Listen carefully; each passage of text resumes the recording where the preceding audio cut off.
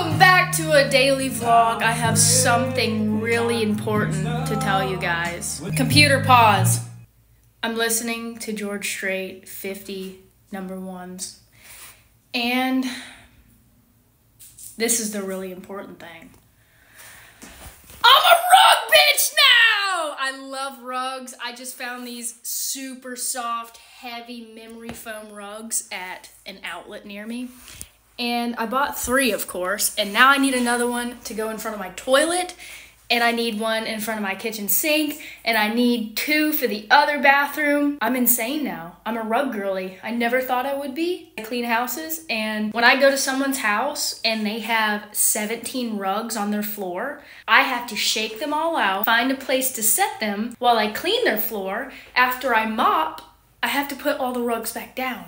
now I'm gonna have to do that at my house because I love rugs now. New year, new me. Right now it's a Saturday reset, so I am cleaning the toilet, I am cleaning our sinks, I'm gonna vacuum the floors, mop, clean the kitchen, and then I get to go play.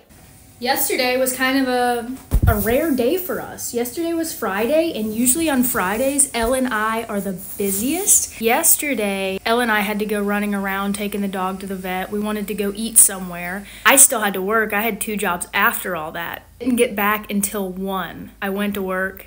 It didn't take us long though. We got back at like 3:30. That's the beauty of self-employment. Elle didn't even work yesterday, so good for him. Welcome back to Bee's voiceover. I have decided to do a voiceover instead of playing music because I need to practice my voiceovers. I am making the bed right now. I've got my favorite sheets on. They are dinosaur sheets. I got them for Christmas. They're the best thing ever. Like I said, before you vacuum, you gotta shake those rugs out good. This is two times the speed, and this is four times the speed. This is normal speed. I don't know why I didn't speed this one up. And then I always mop the floor with Fabuloso. Oh, I got it everywhere. Lou calls Fabuloso kapow because the smell is so strong. Kapow! And then put the rug back. Time for clam dip. Okay, I'm currently making clam dip to put in the fridge for later when we get hungry. And I don't know if this is like just the shittiest can opener in the fucking world or if these cans are really hard, or if I'm weak, you know? Mom's can opener down at her house is nothing like this. Like, this is so fucking hard to do. I have to hold it with my right hand and twist it with my left. Because if I grip it with my fingers on this side, I'll break my hand.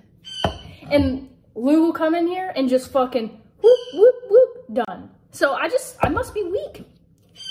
I must be weak because this shit is fucking hard.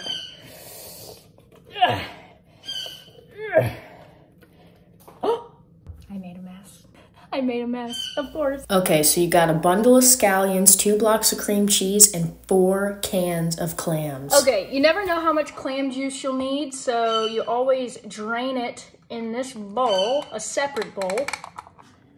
And if any extra clams fall in, you better grab them bitches out because a lot of clams do not come in this. It's very little amount of clams. That's why we use four or five cans each time. I'm halfway through the George Strait album and man, this album will make you cry and fall in love at the same time. Welcome back to this edition of Bees Cooking. Today, we're making clam dip. Fun fact, I love clams so much. I eat them by themselves. I put them in my salad. I will literally eat them with anything. I even drink all the clam juice that's left over because it tastes so good. Now the clam dip is a little bit too thick. I'm gonna add some more juice. And then I gotta add scallions and my seasoning that I put in it. This is making a fucking mess. I just cleaned too. This does not look like the last batch that we made. I don't know what's going on. Maybe it's because I added an extra can of clams. Oof. I am drenched with clam. You should see my phone right now. It is drenched with clam. Clam dip. The bearded clam. Okay, this is crazy. Now we're gonna put our scallions in.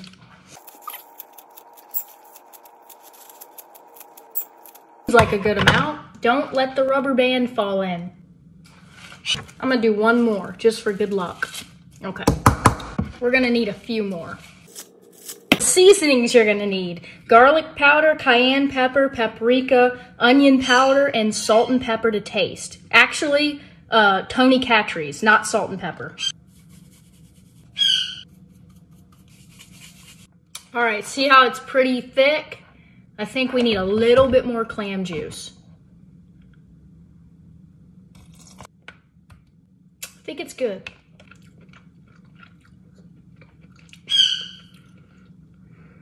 Wow, that's fantastic.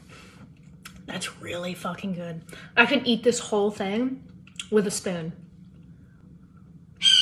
Now we've got to put it in the refrigerator to chill.